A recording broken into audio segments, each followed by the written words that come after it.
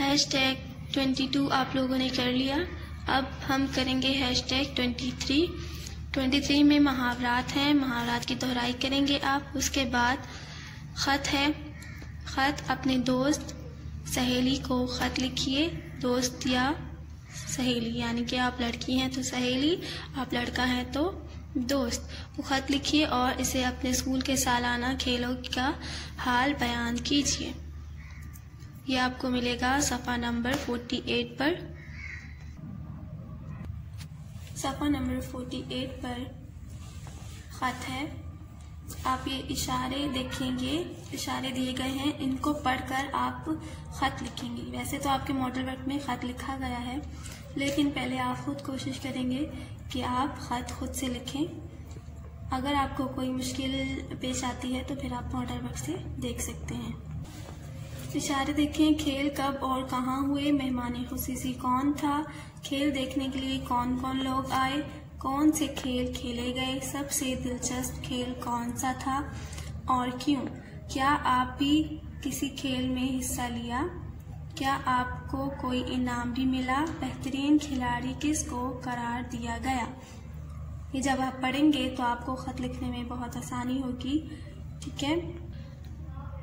ख़त का तरीक़ेकार आप लोगों को पहले बताया गया है कि किस तरीके से ख़त लिखा जाता है। कॉपी में भी आप उसी तरीके से लिखते हैं ख़त, जिस तरह यहाँ पर आपको नज़र आ रहा है। और बुक में भी आप लोग इसी तरीके से बिल्कुल लिखेंगे। यहाँ पर देखें, जहाँ से आप लोग ख़त लिख रहे होते हैं, सबसे पहले हम वहाँ का एड्रेस लिखते हैं। वहाँ का पता पहले आप लिखेंगे मुकम्मल हाँ उस नंबर ब्लॉक नंबर जो भी आपका होगा, जगह का नाम, जिस शहर से ऐसे आप ख़त लिख रहे हैं, वो लिखेंगे यहाँ पर। कराची से लिख रहे हैं, कराची लिखेंगे, उसके बाद तारीख लिखेंगे, जो भी तारीख होगी, जिस तारीख को आप ख़त लिख रहे हैं। उसके बाद लिखेंगे, प्यारी दोस्त। दोस्त का नाम चाहे तो आप लोग यहाँ पे लिख सकते हैं। उसके बाद अस्सलाम वालेकुम फिर वहाँ से आप पहले अपनी खैरियत लिखेंगे। और फिर उनकी खैरियत मालूम करेंगे, उसके बाद आप लोग ख़त का जो उनवान है वो लिखेंगे कि किस लिए आप ख़त लिख रहे हैं उनको।